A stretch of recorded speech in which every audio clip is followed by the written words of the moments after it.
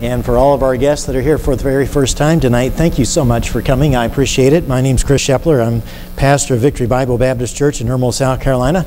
Been here all week long, and folks just have uh, called me Dr. Chris. You can call me Chris. You can call me whatever you want to call me. I'm leaving.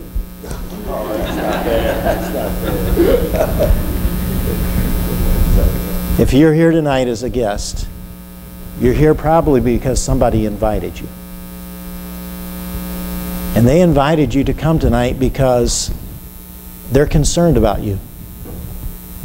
They're concerned that you're able to say, on the authority of the Word of God, that you know that you're going to go to heaven when you die. I didn't know that for years in my life. Ever since I've been a baby in diapers, two weeks old, I've been raised in church. But for years, going to church, I spent years saying, Well, I hope I'm going to heaven. I, I think I'm going to heaven. Maybe I'm going to heaven. But I wasn't really certain of what would happen to me if I were to die. This service tonight is just about taking the Bible and simply explaining to you what the Bible says about how to go to heaven. And there are basically three thoughts that I want to share with you here this evening. And we're just going to complement what we've already just seen. If you're here tonight and you want to be absolutely certain of going to heaven when you die, the first thing that you need to realize is that we all have a problem. And we have a problem that, I hate to put it like this, but it's true. We have a problem that we can't solve. And the Bible tells us that that problem that we cannot solve is the problem of sin the problem of our sin. And the Bible tells us in Romans chapter 3 and verse 23 that for all have sinned and come short of the glory of God. Now that's from the Bible. That's the Word of God. God says we all have sinned. Truth of the matter is, I've sinned, you've sinned, we've all sinned. I don't know you, you don't know me. But according to the Word of God, we've all sinned in God's sight. Sin is anything that we do wrong, anything that we say, do, or think that violates God's word or God's commandments. God's word says, Thou shalt not lie. And as Pastor Foster pointed out, we've all told some lies, have we not? Therefore, we've all sinned against God. And because we've sinned against God, the verse not only says we've all sinned against God, but the Bible says in that verse that because we've sinned against God, we've come short of the glory of God, which means that we've come short of what it takes to get to heaven. See, this is a problem. We want to go to heaven, do we not? Yes, I don't know anyone who wouldn't want to go to heaven. Not in the right mind. I want to go to heaven, but I have a problem. And that problem is my sin. And because I've sinned against God, I've come short of what it takes to get to heaven. Anybody here a handyman around your house? Any of you guys do handiwork around your house? Getting little projects? All right. I do that every once in a while. You know, you're building something and you get out there, maybe you're using some 2 by 4s and, uh, and you cut it too short. How many of you guys ever done that? Huh? Ever cut it? Yes. Okay. Anybody that's a handyman, uh, she's done it too. All right. Cut the 2 by 4 too short. How many of you have done this? All right, you cut the two by four too short, and so you say, I'm going to get another one. I'm going to cut a little bit a piece off of that other one, and I'm going to take that little piece and I'm going to nail it to this one, and it'll work. It'll be fine. How many of you have done that? All right, it doesn't work. It doesn't work. As soon as you put the nail in that little piece that you're nailing to that two by four, it just splits. I learned a long time ago that when I cut a 2 by 4 too short, that I needed to just make another trip to Lowe's. You folks have Lowe's down here? All right. And so, you know, hun, I'll be back. She says, Where are you headed? Lowe's. She says, I know what he did. he cut it too short. Listen, when it's short, you can't lengthen it, can you? You're short. And when the Bible says that we've come short, we don't have what it takes to get to heaven. We've got a real problem. And first of all, it's the problem of our sin. But that's not only the, for, the, the only aspect of our problem. Secondly, not only do we have the problem of sin, we also have the problem of sin's penalty. Because you see, God demands a punishment for our sin. The Bible says in Romans chapter 6, in verse 23, that the wages of sin, look at the verse behind me. What's it say? The wages of sin is what? Death. Is death. So the payment for sin is death. If we got what we deserved, literally, we would die and be eternally separated from God forever. You see, death in the Bible means separation. And so when God says the penalty for sin is death, literally, if we got what we deserved, we would all die and have to spend eternity separated from God in the everlasting lake of fire. We have a problem. We have a real problem. It's the problem of our sin, it's the problem of the punishment or penalty for our sin. And the problem doesn't stop there. None of us here tonight are perfect. Not a one of us. Now, I know some of the teenagers think they're pretty close. I've been hanging out with them this week. And so some of them think, man, I'm pretty close to perfection. Angie.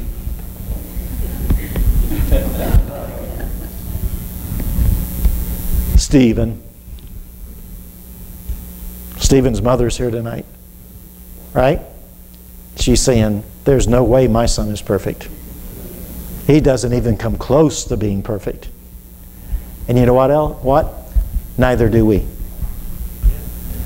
The Bible tells us in the book of Revelation, in Revelation chapter 21, in verse 27, that not even one lie will enter to heaven. Look what the Bible says. And there shall in no wise enter into it anything that defileth, neither whatsoever worketh abomination, or maketh a lie. Do you understand that one lie is enough to keep us out of heaven? And we don't have to tell. That's right. We don't have to tell a lot of lies to keep us out of heaven. Just one. Well, that poses a real problem for us, doesn't it? We're sinners. Sin's punishment is death. We're not perfect. This is a problem we cannot solve. You know what we need? We need a Savior. We need someone who can save us from sin and sin's penalty and provide for us the perfection that we need to go to heaven.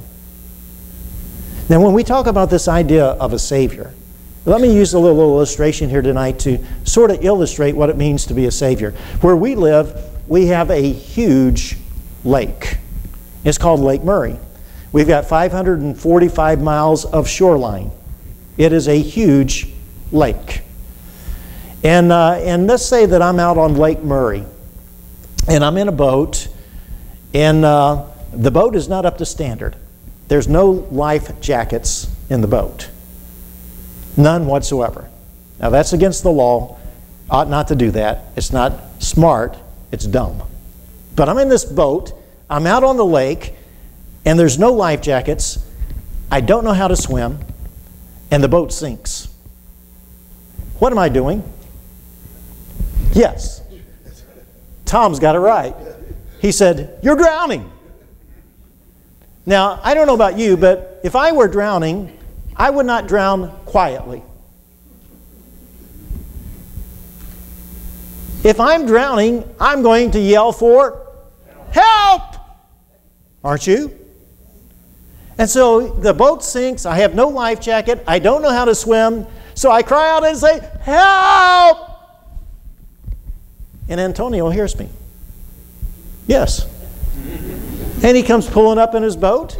He sees me there, and he's looking around, and he says, "Hey, hang on there, man. Just keep keep you know treading that water. Hang on there. I've got just what you need." And he, he throws me this book, 10 Easy Lessons on How to Swim.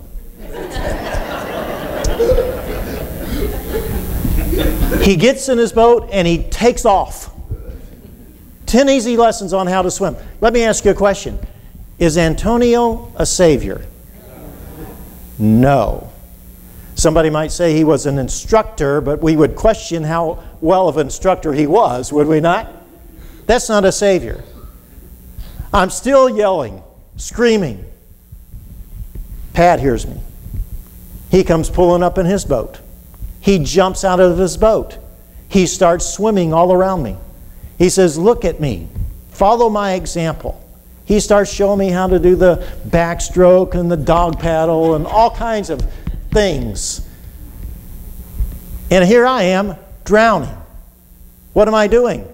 Help! Help! I need a Savior. I don't need someone to teach me how to swim. He gets back in his boat, he pulls off. Has he saved me? No. I'm still what? I'm still drowning. I need a I need a savior. So I'm still yelling, I'm still screaming, and Tom shows up. Tom shows up. He's out in this lake in a canoe. He's breaking his neck to get to me before I, I drown. I'm, I'm dead. And Tom pulls me into his canoe and heads toward shore. And I'm thinking, wow, you're my best friend. I'll be your, I'll be your friend for life, Tom. You have saved me. And he heads toward shore, and he gets about a quarter mile offshore. And, uh, and I get excited that we're getting close to the shore. And so I just stand up in the canoe and I start jumping up and down. I'm so excited. And Tom takes his paddle and hits me on the backside. and off I go in the water, and I'm drowning again. Is he a savior? But you didn't save me. I'm still drowning. Listen to me carefully. A Savior is someone who rescues you from a situation from which you could not rescue yourself. I'm drowning. I don't know how to swim. I cannot rescue myself. Takes me all the way to safety. Takes me all the way to shore. What we're talking about here tonight is a spiritual Savior. Someone who can save us from sin and its penalty of death and provide the perfection that we need to go to heaven, and one day is going to take us all the way to heaven's shore. Jesus didn't come to give us a book on 10 easy lessons on how to get to heaven yourself. Jesus didn't come to provide for us an example and say, if you follow in my steps, you'll get to heaven. Listen, his example was perfection. He was the Son of God. We could never do that. He didn't come to take us part way to heaven. He took us all the way to heaven. That's what it means to be a Savior. So, our first thought is we all have a problem that we can't solve. Our second thought is that God has a solution to the problem. Aren't we glad God has a solution to this problem? We can't get ourselves to heaven, but God can. And God has a solution to that problem. And first of all, I want you to understand it's not, it's not us. We're not the answer. We're not the solution. We can't do it. Oh, I know that goes against our human pride. I know that goes against what's ingrained in us and what we've heard and what we've thought. When people say, Well, I'll go to church and I'll be good and I'll get baptized and I'll obey God's laws, commands, and I'll make sure I treat my neighbor right and I'll do this and I'll do that. And they're saying, Man, I'm going to get myself to heaven. I'm going to do this and this is what's going to save me. Yet the Bible says, For by grace we're saved through faith. That salvation is not of ourselves, it's the gift of God, not of works, lest any man should boast. Look at what those verses say. Those verses are right from the Bible. It says, by grace we're saved through what? Faith. Doesn't say that we're saved through our actions. It doesn't say that we're saved through what we do. It says we're saved through faith. The faith has got to be in the Savior. We're not the Savior, Christ is the Savior. Notice what the verse goes on to say. By grace we're saved through faith, and that not of yourselves. Salvation's not by what we do.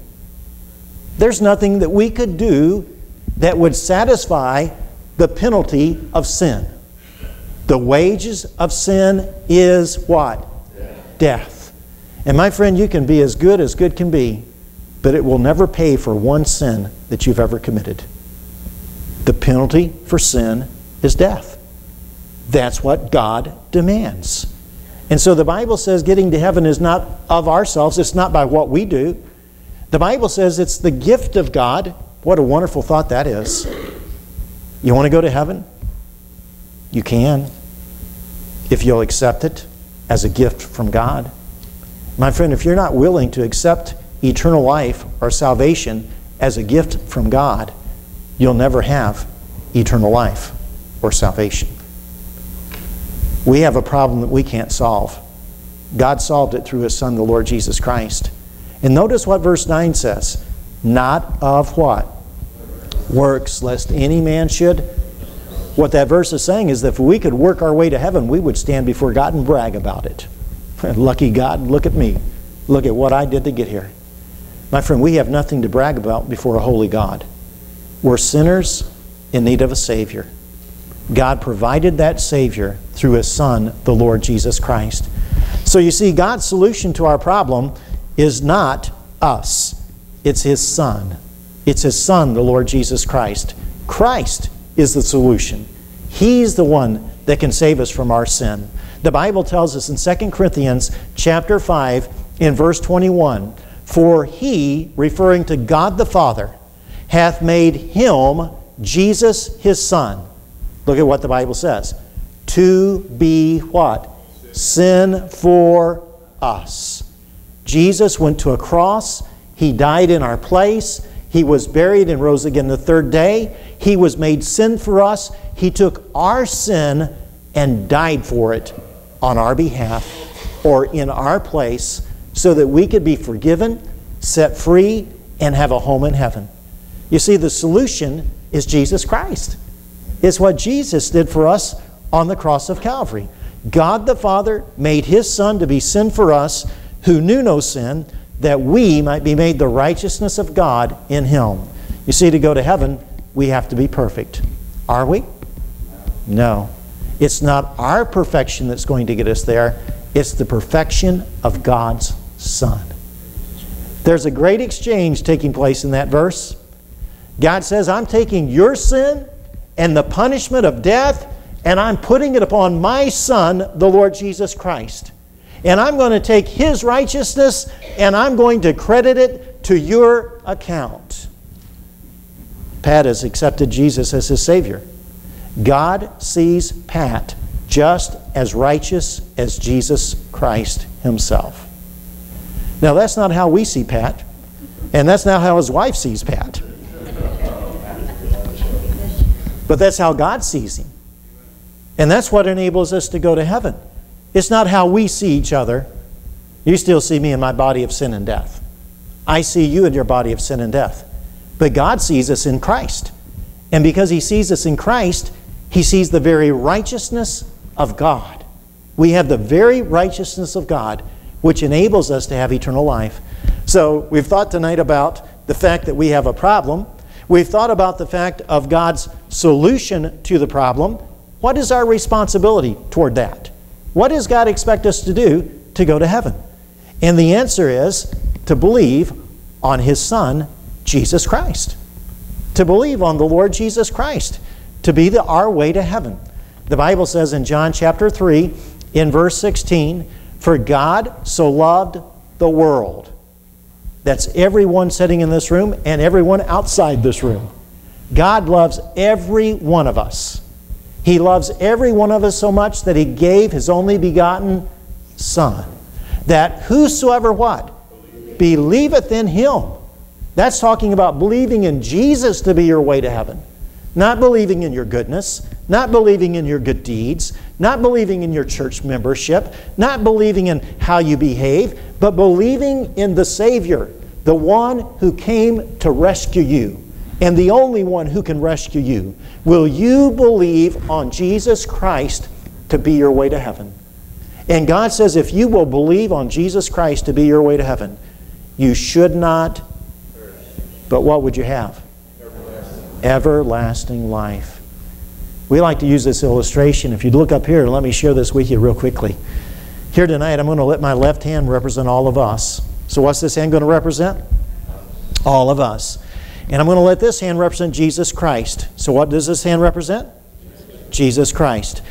Here we are, and I'm going to let my wallet represent sin. The Bible says we all have what? Sin. So I'm going to place the wallet on the hand, representing the fact that in God's sight, we're all sinful people. Now, to go to heaven, we've got to be without sin. We would have to be perfect. Are we? No. So that sin's got to be dealt with, doesn't it? Because you see, it's our sin that separates us from God. It's our sin that keeps us from going to heaven. God says the penalty for sin is death. So if we got what we deserved, we would die and be eternally separated from God. But look here. This is represents Jesus Christ. God so loved the world, you and I, that he gave his only begotten son. What did Jesus do for you? He took your sin off of you and paid for it on the cross of Calvary. And the Bible says that whosoever believeth in him would make a choice, a conscious choice, to say, God, I have a problem I can't solve. I can't solve the penalty of my sin. I can't solve my sin problem. But your Son, the Lord Jesus Christ, did. He went to a cross. He died in my place. He paid my sin debt to give me eternal life. And God, my choice is to believe on your Son, Jesus Christ, to be my way to heaven. And my friend, the moment you believe on Jesus Christ to be your way to heaven, what's the promise of the verse? You should not perish, but what would you have? And so we conclude tonight by asking the question Can you really know you're going to heaven? Can you really know you're going to heaven?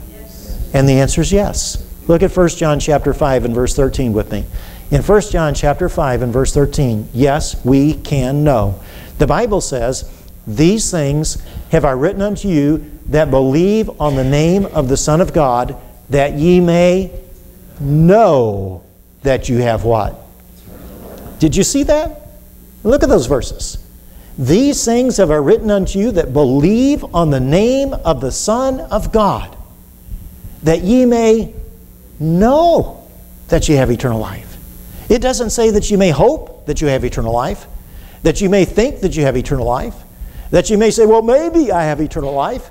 It says, if I choose to believe on the name of the Son of God, if I believe on Jesus to be my way to heaven, because his name means God our Savior.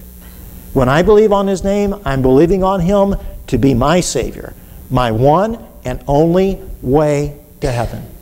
And he says, These things have I written unto you that believe on the name of the Son of God, that ye may what? Know that ye have eternal life. Can a person know where they're going when they die? Answer is yes. And my friend, if you're here tonight and you've never believed on Jesus, I would urge you to. Why did your friend invite you to come? Because they want you to know. They want you to know that you're going to be in heaven one of these days.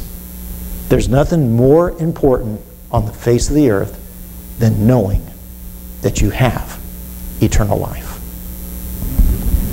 Nothing more important. Let's pray. While heads are bowed and eyes are closed, you may be here tonight and never have believed on the Lord Jesus Christ to be your way to heaven. You can make that decision here tonight to trust in the Lord Jesus Christ right where you're sitting. And I want to encourage you tonight to do that. You can talk to God right where you're sitting here tonight. You don't have to say anything out loud, but you can say something like this just quietly. God knows your thoughts, He knows your mind. You can say, Dear God, I realize here tonight that I do have a problem that I can't solve.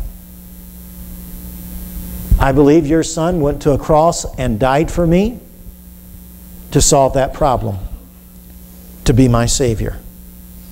And right here tonight, the best I know how, I'm trusting your son Jesus to be my Savior, to be the one to take me to heaven when I die. Would you do that if you've never done it before? Would you just quietly talk to God in your mind and just tell Him, right here tonight, God, I'm making a decision. I have a problem. I can't solve it. I believe that your son went to a cross and died in my place, was buried and rose again the third day to provide me a home in heaven. I trust him right now to be my Savior. I trust him right now to be my Savior. My friend, it's not the words that you say, but the fact that you're trusting Christ that saves. And God knows your heart. He knows if you're trusting in His Son, the Lord Jesus, to be your way to heaven tonight. And if you are, on the authority of the Word of God, you can say that you know that you have eternal life. Now, if you're here tonight and you just prayed that prayer and you told God that you were trusting Jesus to be your way to heaven, I'd like to be able to pray for you. And in just a moment, I'm going to ask you to slip your hand up and slip it down. It's not that my prayer does anything for you as far as getting to heaven, it's trusting in Jesus. My prayer, just simply raising your hand, says to me, Here tonight, I heard something I never knew before. It made a lot of sense.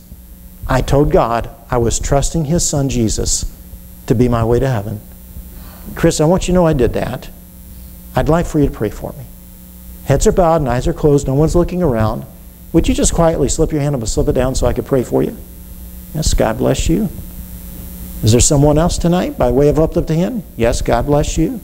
Here tonight, you're saying, I'm trusting Jesus to be my way to heaven. I've never done that before, but here tonight, I'm trusting Jesus. I'd like for you to pray for me, Chris. Is there someone else, just by way of uplifting hand, would say, Pray for me. I'm trusting in Jesus to be my way to heaven. Anyone else? Those of you that just raised your hand, in just a moment, I'm going to have a word of prayer. And when I close that prayer, the pianist is going to play. And I want you to just get up out of your seat and I want you to come forward. We've got a little pamphlet that we want to give you. And Pastor and Mrs. Herschenroder will meet you up here and they'll just say a word of encouragement to you. And those of you that you raised your hand tonight, when that piano plays, we just want you to get out of your seat, come forward. Everybody else will just sit there with their heads bowed and eyes closed. And someone will talk to you here for just a minute and give you a little pamphlet to encourage you in the Lord. Father, we thank you for these that indicated by the hand tonight they were trusting in your Son Jesus to be their way to heaven. We're thankful, Lord, that when a person does that, when they choose to believe on your Son, realizing their need, realizing what He did on their behalf, that He died and paid for their sin in full, was buried and rose again the third day, trusting in Him and Him alone to be their way to heaven. We thank you, Lord, that you save, that you give eternal life. Now, while heads are bowed and eyes are closed and the piano's playing, if you were one of those that raised your hand tonight, would you just get up out of your seat and come forward? Yes, just come right, come right ahead. Yes, just come right ahead. Yes, come right ahead.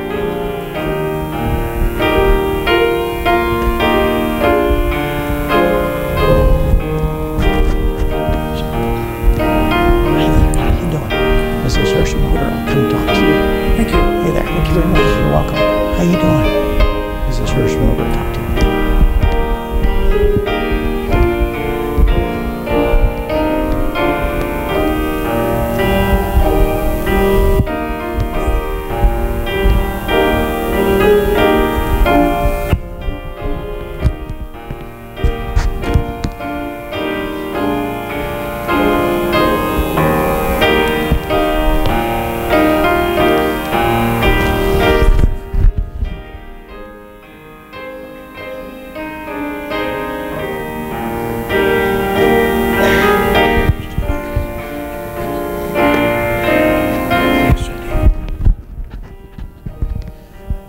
Father, we rejoice in people coming to accept your Son as Savior tonight.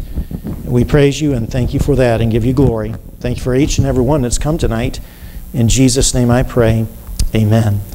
Folks are going to be